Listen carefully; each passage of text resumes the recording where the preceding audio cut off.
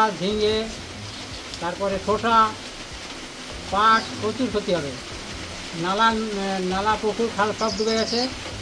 এইখানের মধ্যে প্রচুর ক্ষতি হয়ে গেছে। এই রাস্তা পুরো জল উঠে গেছে আমার দোকানে জল ঢুকতে শুরু হয়েছে।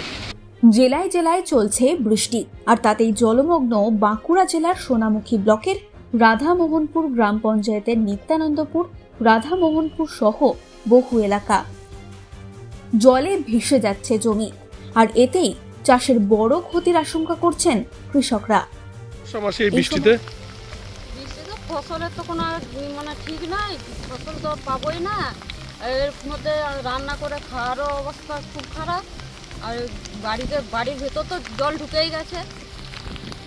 বাড়ির ভিতরে জল ঢুকে গেছে? হ্যাঁ বাড়ির ভেতরে জল ঢুকে গেছে। আচ্ছা কতটা আতঙ্ক রয়েছে সাপ বা অন্যান্য পোকামাকড়ের? পোকামাকড় তো সব ঢুকে গেছে বাড়িতে। সাপটা হয়তো এখনও দেখা যায়নি কিন্তু বৃষ্টিটা বন্ধ হলেই দেখা যাবে কোথায় ঢুকেছে না ঢুকেছে এখন তো খুঁজে পাওয়া যাচ্ছে না। কেন এমনটা হচ্ছে? এই বৃষ্টির জন্য কি? বৃষ্টির জন্যই তো হচ্ছে। কখন থেকে বৃষ্টি হচ্ছে? বৃষ্টি তো কালকে সারা দিন হয়েছে সারা রাত হচ্ছে তারপরেই তো আজ তো আরম্ভ আছে। সবজির কতটা ক্ষতি হবে? সবজি তো ক্ষতি তো হয়েছে সবজি তো আর পাবো না। সবজি ক্ষতি হবে না। বৃষ্টিতে সব ডুবে গেছে। কি কি সবজি রয়েছে এখন? আমার সবজি আছে ধান আছে পটল আছে। প্রচুর ক্ষতি মানে ক্ষতিটা বলা যাবে না যে ক্ষতিটা হয়েছে। সমস্ত চাষি ভাইদের যে ক্ষতিটা হয়েছে তারপরে সমস্ত পুকুরে এখানে সব ডুবে গেছে। এর পাট ডুবে গেছে। কি কি সবজি রয়েছে এখন? সবজি শসা করলা ঝিঙে ধান বীজ পাট। রাস্তায় কি জল উঠেছে? হ্যাঁ রাস্তা সমস্ত রাস্তায় জল উঠে গেছে। আমার দোকানে জল ঢুকতে শুরু হয়েছে। আতঙ্ক রয়েছে কি? এই বৃষ্টি যদি না থামে আগামী দিনে কি আরও আরও ভয়ঙ্কর পরিস্থিতি হবে? হ্যাঁ আরও ভয়ানক। আজকেই হয়ে যাবে কিছুক্ষণের মধ্যেই হয়ে যাবে। তবে চাষবাস করেই সংসার চলে।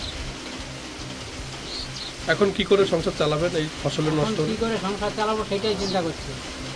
ধান ফান সব ডুবে গেছে। সবজি একদমই নষ্ট হয়ে সবজি বাড়িতে এক কোমর জল। মাথা ডুবে গেছে। মাথা ডুবে গেলে আর কিছু থাকবে না। সবজি যদি ভেলি ডুবে যায়, ভেলি ডুবে গেলে গাছ সব মরে যাবে।